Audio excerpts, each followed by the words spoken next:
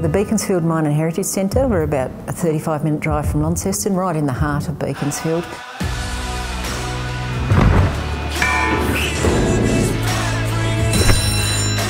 We find our visitors uh, sometimes they're not sure, you know, they think it's just a museum. They think they're only going to be here for half an hour and they're here for two or three hours. They come here and they're always surprised by what they see. It's a whole lot more than what you think it is.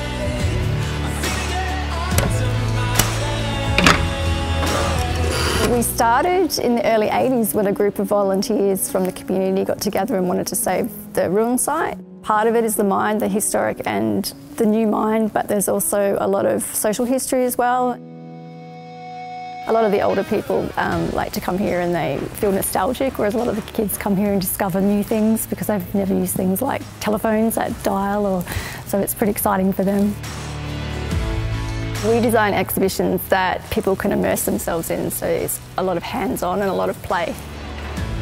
Their hands-on makes this a very different museum. The fact that you can just um, touch and play with things, not everything's in cabinets, they're not told don't touch, they can actually play with stuff. I love the ruin site.